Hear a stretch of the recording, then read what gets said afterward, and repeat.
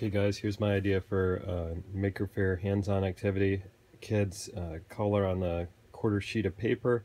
They can hole punch it with two different spots wherever they want. This one's obviously quarter sheet vertical. This one's um, corner to corner um, quarter sheet. Uh, in either case, there's some sand in the water bottle. We'll have the gutters. And as you can see, just a puff of air with my blowing on it can move it across the tub pretty easily. Either one can go on um, the skewer pretty easily.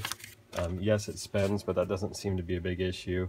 And it allows kids a, a super easy hands-on activity that they can do at home, bring to the pond, test out, and so on. Um, just a little sand, water bottle, skewer, and paper. So our, our should be a very simple activity for kids for Maker Faire. Let me know what you think. Thanks.